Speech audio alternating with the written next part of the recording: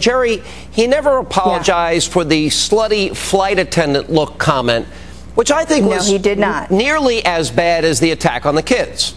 Well, you know what I thought about that apology? At first blush, I thought, well, you know, that's pretty good apology. And then I thought about it. You know, he didn't. He claims he didn't write the joke, and he doesn't write his jokes.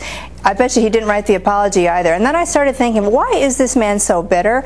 I started thinking about the fact that Jay Leno sort of superseded him, and now Conan O'Brien. He never really quite made it. He's sort of like the Walmart greeter of late night talk show hosts. Yeah, maybe well, he's a little I, angry about I, I that. I used to like Dave a lot. I really did. I used to watch him, and I'd flip back and forth between him and Leno, and then Leno won me over. Because you know what, Leno doesn't have an agenda except to make everybody laugh, and he's a much he doesn't he doesn't seem mean spirited. Yeah, he's a lot. seems to me to be a much more likable guy, and I don't know what's happened to Dave. He's this agenda's taken over, but.